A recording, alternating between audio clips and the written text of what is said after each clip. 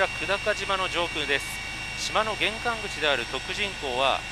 9割ほどまでが軽石で埋め尽くされています。沖縄の海を突然覆い尽くした軽石。小笠原諸島の海底火山が噴火し流れ着いたものです。多くの漁業観光の関係者や離島で生活する人。海の生き物に大きな影響を与え今もなお厄介者として扱われています。もういつも言ってる長い、まあ、長浜ってすごい長い浜なんですけど本当にもう海岸線がなくなっててああもう衝撃がもう本当びっくりしましたね。ああもう自然の力っていうのはすごいいいんだなと思ってまあかなりショックを受けましたね。うるま市で廃瓶のリサイクルにこだわり琉球ガラスを製作する再生ガラス工房テトテト松本栄さん。透明が一番きれいという松本さんの作品は入れるものを邪魔しない毎日使える琉球ガラスです。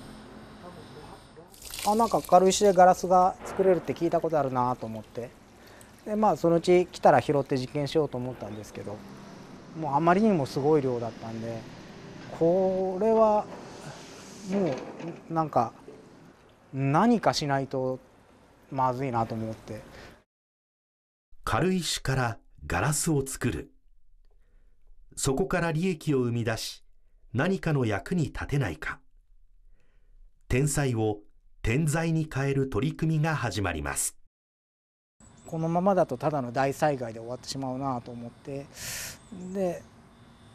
まあガラスはもう軽石がそのままガラスになるんだったら僕らガラス屋さんとしてはもうこれは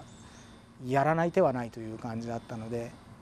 ですぐにじゃあ実験してみようと思って始めた感じですね。ガラス質であるとはいえ軽石からガラスの原料へと再生させるのには時間と手間がかかります。桶に移した軽石を水で洗いながらゴミを取り除いていきます。その後24時間水に浸し軽石の塩抜きをしていきます。軽石の中にあるたまに黒い黒いものが鉄分がたくさん含まれてて実際磁石とかにもくっつくんですけどこの鉄分があの軽石のガラスの真っ黒い色の元になってます。水にさらした軽石は中まで完全に乾燥させるために天日干しされます。沖縄ならではのスコールに気をつけながらの作業です。完全に乾燥した軽石を丸ごとミキサーで粉砕していきます。人力でも粉になるぐらいのものなんですけど夫婦2人でやって8時間やってバケツ1杯分も作れない感じだったので実際腰も痛めたし すごい苦労しましたね。まあなんとか機械化しないといけないなって思った感じですね。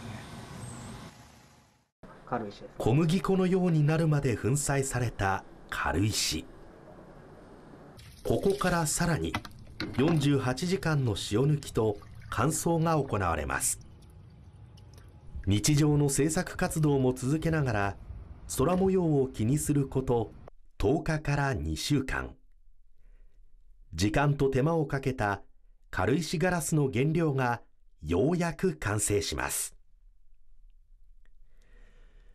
試行錯誤を重ね生み出された原料と松本さんの思いがこもった最初の軽石ガラスがこちら。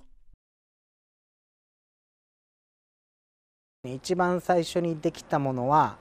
えー、っと漁協の人にあげてしまいました。とこのあの軽石の被害受けて一番最初にクラウドファンディングされてる方がいて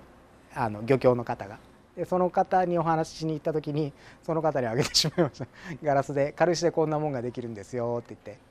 見せたくて。製品ができればあとは売るだけ。松本さんの取り組みに共感した仲間たちに軽石ガラスの原料を提供。制作を依頼し被害を受けた漁協の皆さんの足しになればとチャリティーの展示即売会を開きました。会場を訪れた人の驚きと関心は高く予想を超える売れ行きで販売手数料を除いた売り上げのすべてが軽石を提供してくれた松本さんの地元与那城漁協へ寄付されました。今普段使ってるあの廃瓶の透明なガラスとこの軽石のガラス。これを2つを1つにして琉球ガラスの製品を作っていきたい、まあ、今一見うまくいってるようなんですけどまだ少しこうやって膨張率っていうのが合わなくて割れてしまったりとかもしてるのでこれから自分が作る作品の中に軽石のガラスを琉球ガラスの一つの色として取り込んでいけるようになるんじゃないかなっていうところまで来ていますね。もうすぐです。自然の力に圧倒された軽石問題はたくさんの人の力を借りて少しずつ解決へと向かっています。大量に噴き出された地球のパワーをどう受け取るのか。圧倒的な自然を前に自分の立ち位置から発想を巡らせ乗り越えていく。こうした取り組みは SDGs の目標へとつながっていきます。まあ、人の手で砕ける岩石なんて他にないんで天から受けた天災の災害をあの天からの贈り物にこう価値を転換していくようなでさらにそこからこうまた新しく利益が生まれてでそれがこう巡り巡っていくような形になると嬉しいなというふうに思ってます。